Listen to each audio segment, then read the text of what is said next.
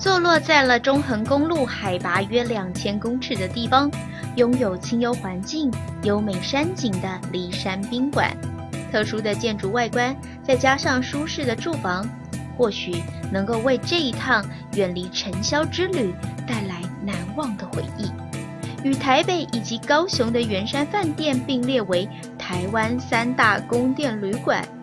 同出于建筑师杨卓成之手的他们。富丽堂皇的宫殿造型就是一个最大的特色，只不过骊山宾馆多了地势的加持，在这里能够享受到最清新的空气，欣赏到最自然的美丽景观。